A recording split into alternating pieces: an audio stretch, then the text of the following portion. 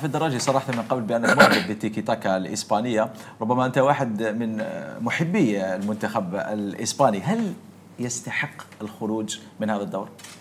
لا يستحق الخروج يعني بالنظر لمباراته أمام المغرب يستحق الخروج ولو أنه الحظ لعب شوية دور كبير جدا لأنه كان مستحوذ وكان مسيطر المنتخب المغربي اختار أن يبقى في الخلف ويلعب نعم. على قدراته هذا شيء طبيعي لأنه المباريات مثل هذه تلعبها من أجل أن تفوز بها لا تلعبها من أجل أن تمتع الجماهير نعم. أما بالنسبة لخيارات المدرب فتبقى خيارات طبعا هو عنده حساباته عنده أسبابه إحنا من بعيد نقول لماذا راموس ولكن نعم. تصور لو وصل للدور نصف النهائي ولا واحد يتكلم على على راموس ولا يتكلم على ديخيا الخيارات هي هكذا بالنسبة لمدرب. أنا لم أسمعه ماذا قال بعد نهاية المباراة ولكن أعتقد بأنه لم يكن موفق المنتخب الإسباني آه، في هذا المونديال.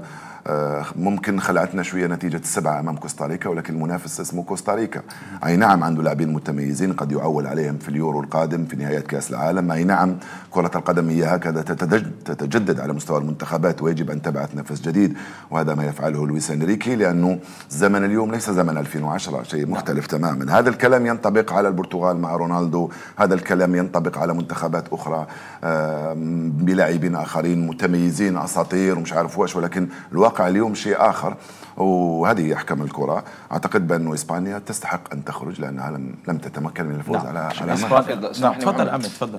صحيح أنه لو تأهل المنتخب الإسباني إلى الدور النصف النهائي ما كان أي أحد ليتحدث عن غياب سيرجيو نعم. راموس أو غياب ألكانتارا أو ديخيا أو غيرهم. ولكن أريدك أن تتخيل معي هذا السيناريو. ماذا لو تأهل المنتخب الإسباني بأدائه على مدار كل المباريات باستثناء مباراة كوستاريكا؟ وأنت يعني ذكرت السبب. هو مجرد منتخب كوستاريكا. ماذا لو واجه المنتخب الإسباني في الدور نصف نهائي البرازيل أو فرنسا وإنجلترا؟ لا يمكنه أبدا أن يقف آه، ندا للند مع هذه المنتخبات القوية فنيا تقنيا وحتى من حيث الخبرة من حيث عنصر نعم. الخبرة. لذلك على مدار البطولة أنا لم أرى أي مباراة مرجعية للمنتخب الإسباني تضعه ضمن قائمة المرشحين هو في إعادة تشكيل هو في إعادة تشكيل. ولا أعتقد كانت غايته التتويج بكأس العالم لأنه التتويج بكأس العالم عارف هو وعارفين إحنا بأنه يبقى منحصر بين البرازيل والأرجنتين وفرنسا. وفرنسا وإنجلترا. نعم. فهو عارف جيدا بأنه لم يأتي إلى قطر من أجل التتويج بكأس العالم. حفظ مشكلة الاستحواذ. السلبي المنتخب الإسباني صحيح يسيطر يستحوذ على الكرة ولكنه ما عدا مباراة كوستاريكا لعب أمام لا شيء في المباريات الأخرى لم يستطع الوصول إلى الشباك في مرات كثيرة وانهزم أمام اليابان وأدى أدخل الشك في آه، نفوس محبيه. الاستحواذ ارتبط بالبارسا والاستحواذ ارتبط بوجود لاعب اسمه ميسي فك العقد. اليوم منتخب إسبانيا ما عندوش لاعبين بحجم ميسي. كل ميسي أرجنتيني ولكن تيكي تاكا مشات مع مع ليو ميسي.